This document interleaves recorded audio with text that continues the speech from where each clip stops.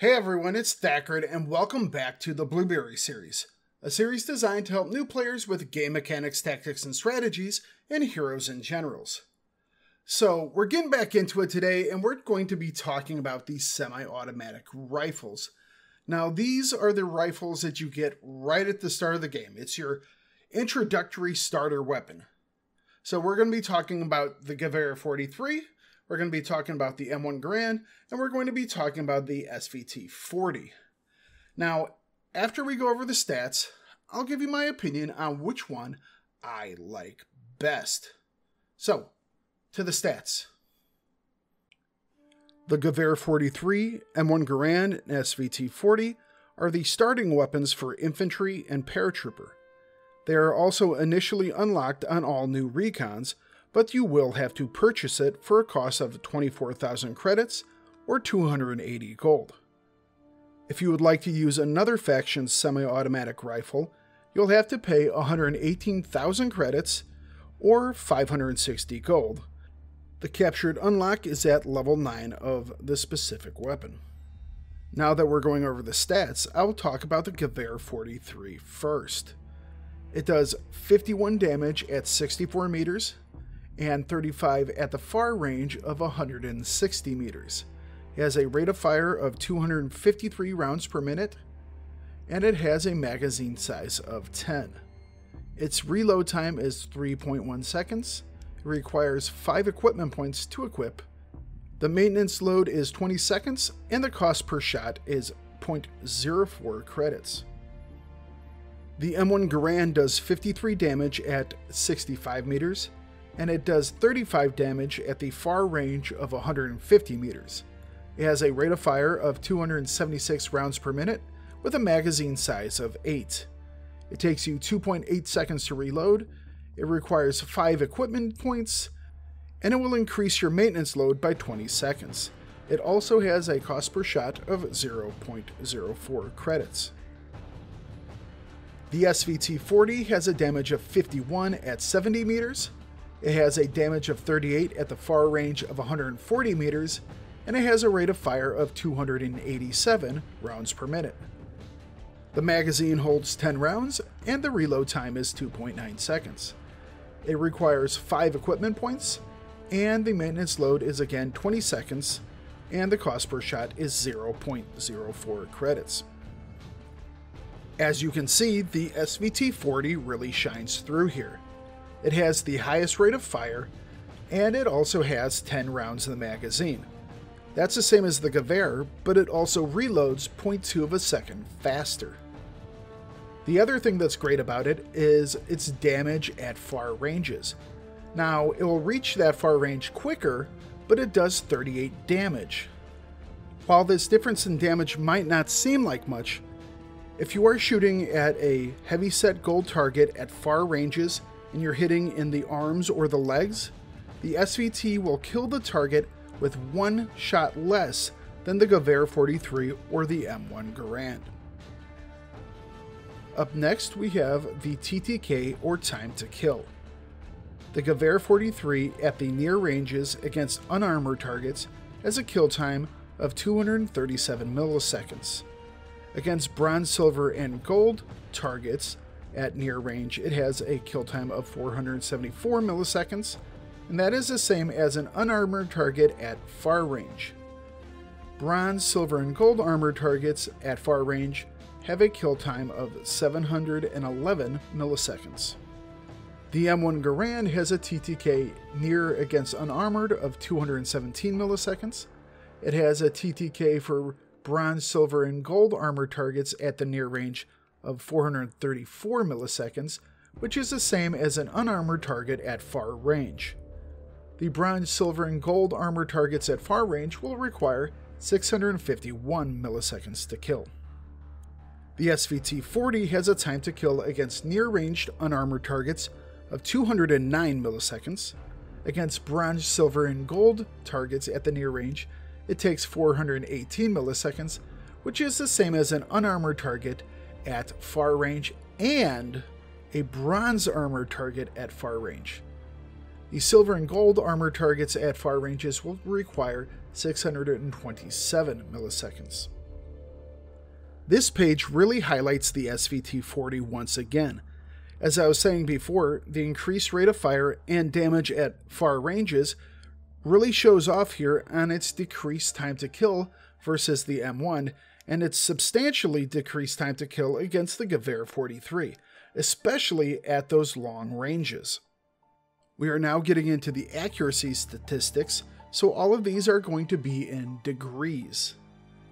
The cone fire for the Gewehr 43 is 0.13 degrees, with an upward recoil of 1.98 degrees, a rightward recoil of 0.22 degrees, and a recoil variance of 0.7 degrees. The M1 Garand has a cone fire of 0.11 degrees, an upward recoil of 1.8 degrees, a rightward recoil of 0.2 degrees, and a recoil variance of 0.7 degrees. And lastly, the SVT-40 has a cone fire of 0.145 degrees, an upward recoil of 1.9 degrees, a rightward recoil of 0.165 degrees, and a recoil variance of 0.95 degrees. All three of these weapons have very nice cone fire. The cone fire is the width of that very first shot you take at your target. On the other hand, they also have massive upward recoil and recoil variance. To give you an idea of kind of how massive it is, the MG42 has an upward recoil of 2.07 degrees and a recoil variance of only 0.4 degrees. And the MG42 kicks like a frickin' mule. The M1 Garand does come out a little bit better here. It has the smallest cone fire and also the smallest upward recoil. And at the same time, it has the same recoil variance as the Gewehr 43. Here we're looking at the different sways for all the weapons, once again in degrees. The Gewehr 43 has a sway for standing of 0.45 degrees, a sway for crouch for 0.37 degrees, a prone sway of 0.2 degrees, movement penalty sway of 2.5 degrees, and a fatigue penalty sway of 4.0 degrees. The M1 Garand has a standing sway of 0.52 degrees, a crouch sway of 0.32 degrees, and a prone sway of 0.22 degrees. Its movement penalty sway is 2.5 degrees, and the fatigue penalty sway is 4.0 degrees. Lastly, the SVT standing sway is 0.41 degrees, crouch sway is 0.32 degrees, prone is 0.19 degrees, its movement penalty is 2.5 degrees, and its fatigue penalty is 4.0 degrees.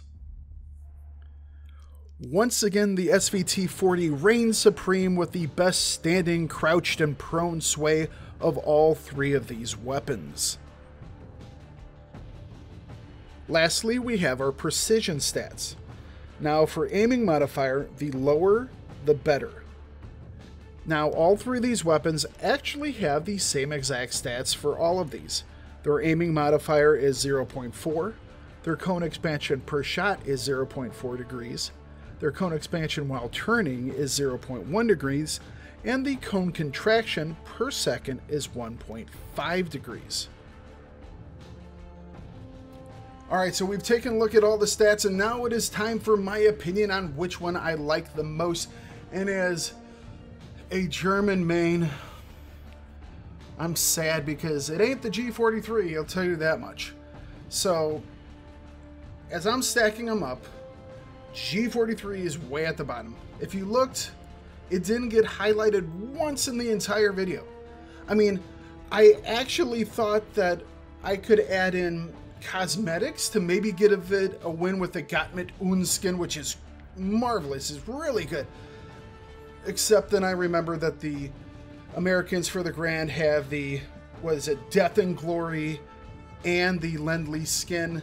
So the Garand would have won that round. So yeah, the G43 won nothing. It is in last place. Don't like it. Um, when it compares to the other weapons. Next up, in second place, we have the uh, we have the uh, Garand, the M1 Garand, and if you are a person who is very accurate with your shots, It's slightly better cone fire, might mean you have a little bit better chance at getting those headshots, so that might be where you're looking. But I think for the vast majority of people, myself included, at the top of the pile is the SVT 40. And for my opinion, it's not even close. It has a faster rate of fire, it has more damage at longer ranges. This shows off really well in the TTK uh, chart that I showed.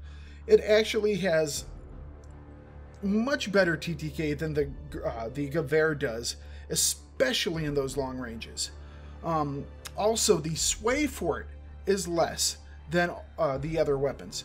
So overall, it is by far, in my opinion, the best of the starter weapons, best of those semi-automatic uh, weapons.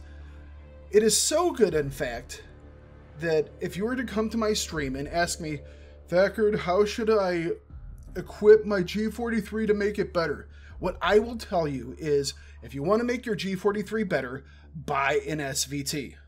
All you have to go do is go to the first encounter match, pick up a bot's SVT when you're playing the Soviets, and start blasting away. And then you buy it. Trust me, you will do better with buying an SVT than putting all the bits and pieces on your Gewehr. All right?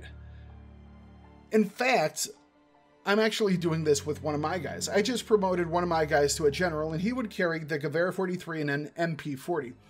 This time around, he's going to be carrying an SVT and probably a PPSH. So, yeah, if you want to improve the Gewehr, buy an SVT. If you think I am crazy, or you would rank these weapons in a different way, please go down in those comments and tell me how you would list them. Uh, next up, I believe we're going to do submachine guns. So we're going to be going over the Germans, and then the Soviets, and then the Americans, like we have for the LMGs uh, prior. So we're going to start with those submachine guns next. But until we do, until we that next Blueberry video comes out, I hope you all have a wonderful time in game. If you enjoyed or disliked this video, I do hope you comment on it and give it a thumbs up or down. If you want to see new videos, please hit the subscribe button, and to be notified of new content when it comes out, hit the notification bell. But for now, thanks for watching. Have yourself a great day, and don't forget to bring it no matter what you do. And I will see you guys in the next video.